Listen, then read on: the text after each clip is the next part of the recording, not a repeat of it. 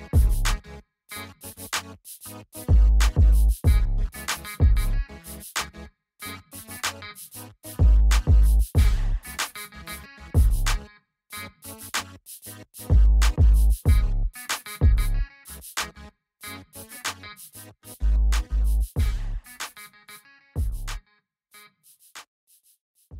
Hey, what's up, good people? I'm QC. Welcome to a brand new edition of Talking and Grubbing.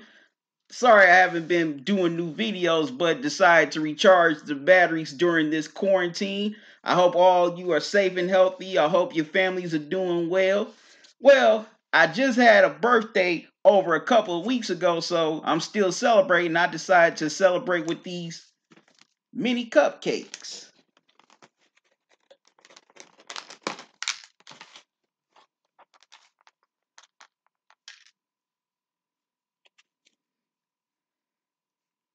I love these things, boy.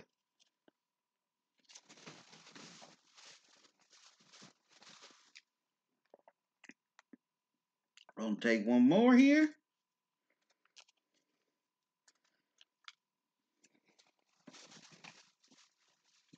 Mm. Man, I love that icing. All right.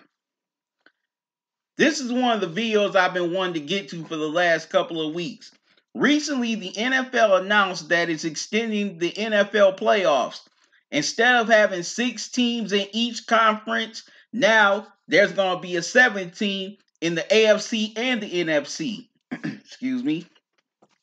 So now that means only the first seed in each conference is going to have a first round bye while the second seed is going to have to play wild card weekend. Now, some people have criticized the NFL for adding the new playoff season, including ESPN's Booger McFarland. He feels that the NFL is rewarding mediocrity for adding a seventh team. But I disagree wholeheartedly. This definitely gives more teams a chance to make the playoffs.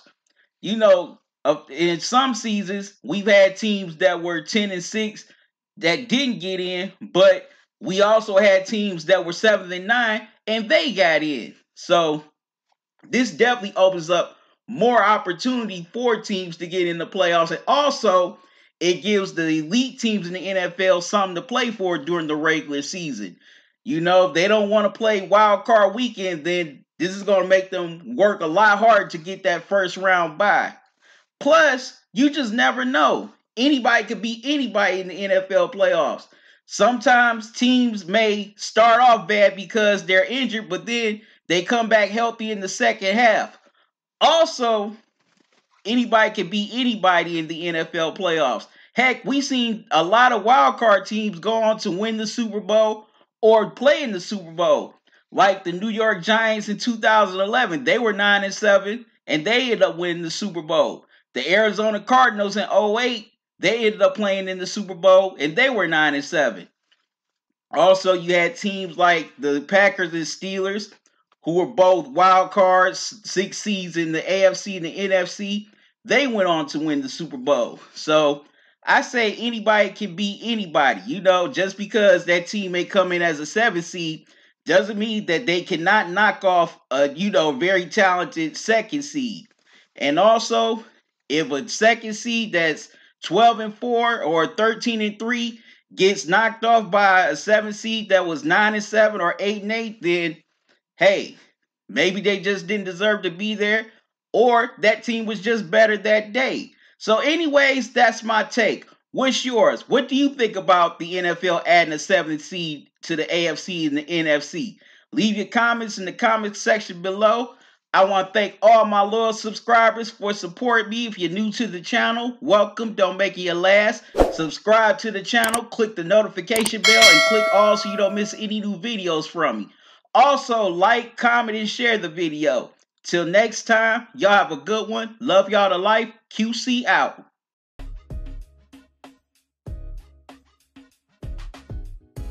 Hey, what's up, good people? It's QC once again. Now that you saw the video, subscribe to the channel. When you do, click on the bell icon so that way you won't miss any new videos from me and be mad. Let your family and friends miss those videos and let them be mad. Follow me on Twitter and Instagram, like me on Facebook. Thanks for watching.